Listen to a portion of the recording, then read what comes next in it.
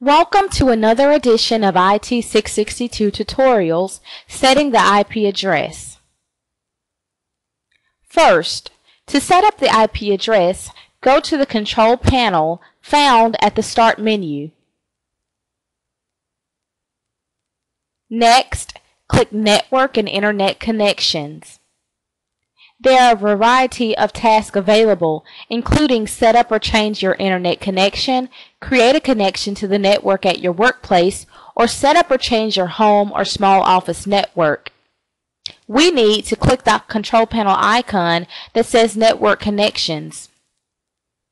Next, click on Local Area Connection to locate the connection properties. Click on Properties.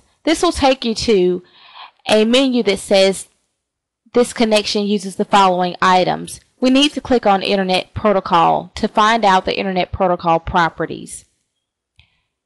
Next, click on Use the following IP address and enter your IP address.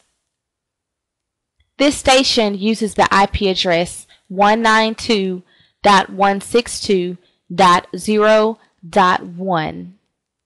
The last number can be any number from 0 to 99. You would then click inside the subnet mask box and it will automatically generate the mask number.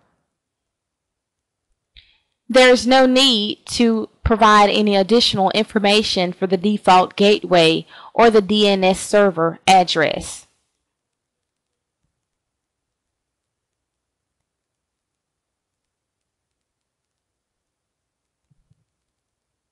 Now, you would need to test to see whether you're connected by viewing the local area connection status.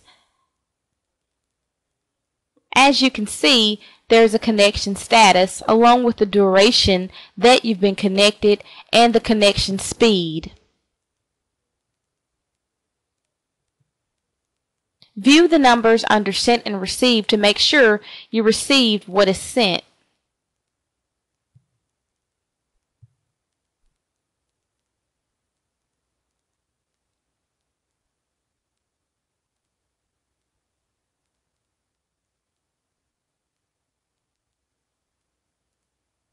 Now, let's find out who you're connected to.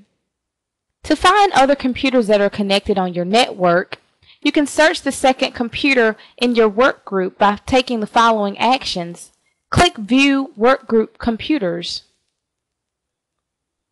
You should immediately find the computers that are located in your work group. This tutorial was created by the following students. Thank you.